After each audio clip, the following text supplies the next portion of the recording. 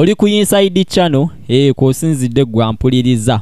Olunaku olwaleero mbaleetedde omukyalo ono wininwagi wininwagi ono yeegumbulidde omuze gw'okubanga atambula bukunya n'okulagako abantu kyali. E, yeeyunze ku kwono omukyala eyali mukyala wa big eye ayitibwa donzera wininwagi ono twabadde tuli awo ng'ataka vidiyo ka vidiyo kano omukyalo ono ke yatadde yalese abasajja nga empale zitobye ng'eyange teriimu e, ng'eyange teriimu. Wininwagi ono ennaku zino ebifaananyi bye yeekuba nabyo byongedde okuba nga bikyamula abasajja. Era abasajja beeyunidde be nnyo kubanga bamugoberera ku peji eya facebook kubanga ennaku zino ebitone abibalaga mu bujjuvu.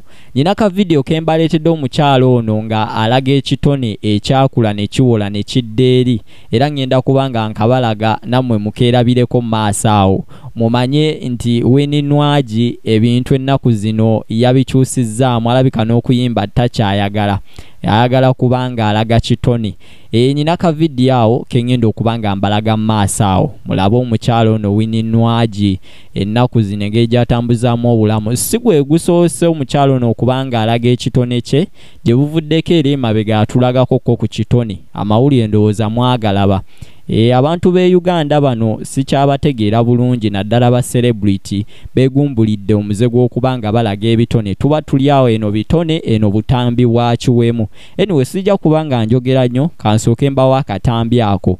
Wininwagi ng'alagako abasajja ekitone kyayina. Ee